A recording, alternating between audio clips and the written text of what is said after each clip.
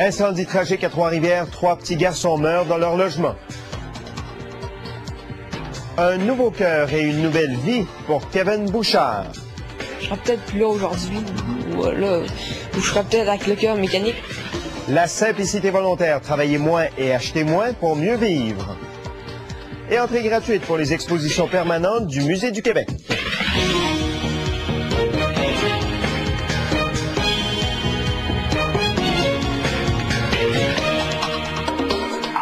Ce soir avec Sébastien Beauvais.